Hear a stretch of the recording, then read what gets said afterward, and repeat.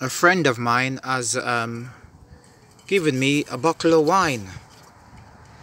That's what he's given me. He's given me a bottle of wine. But, you know, I don't drink wine. Not not alcoholic wine anyway. And it's, it's a alcoholic wine. So I don't drink alcoholic wine. So, it says it's 11.5% alcohol there.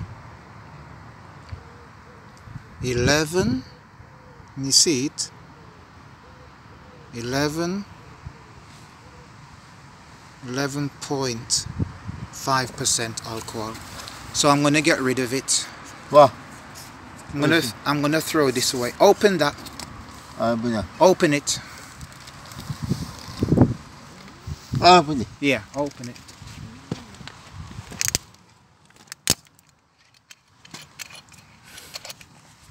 now we're gonna throw it away we don't drink wine do we Ah, Josh. You got police here. no it's all right so we don't drink wine You can smell the alcohol. So this is what we do. We pour it away. Down the down the down the gutter. So the best place the best place for alcohol is down the gutter. Yep. down.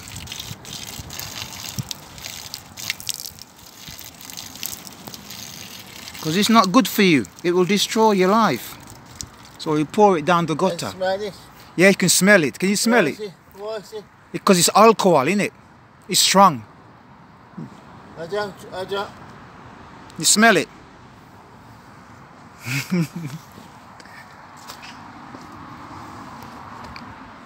Ah, yeah I don't drink. I know I, I don't. I know you don't drink I don't. You do? No, I don't drink. no I don't I don't drink You alcohol know I don't drink. yeah I know you don't yeah I know so we don't drink alcohol Because I've wondered about you. I if I do like Rick you say yes. That's how I pick it up. You say yes. I don't drink alcohol You tell me Rick. I don't drink alcohol this got alcohol in it So why if you tell someone this? I don't drink alcohol. It's all right. So what? I, Oh, I know it's not your fault. You didn't know. Yeah. So Jesus says, what are you in the mocking now? I'm gonna I'm, I'm gonna throw it in the bin. So Jesus says, if any man thirst, let him come unto me and drink. So if anybody thirst, if you're thirsty and you want to drink, Jesus says, if any man thirst, let him come unto me and drink, and out of his belly shall flow rivers of living water. So no, when you have the Holy Spirit, you don't need alcohol. You don't need to drink alcohol. You don't need to drink the wine of alcohol or the beer or the spirit of alcohol. All you need is the Holy Spirit. And my friend didn't, didn't know that it was alcohol in this wine. So now we've thrown it away and to show that, you know, it's not good to drink. So don't drink. If you want to drink, ask Jesus into your life. Invite Jesus and he'll give you the Holy Spirit and you will never thirst again. So give your life to Jesus Christ and drink from Jesus Christ by the Holy Spirit.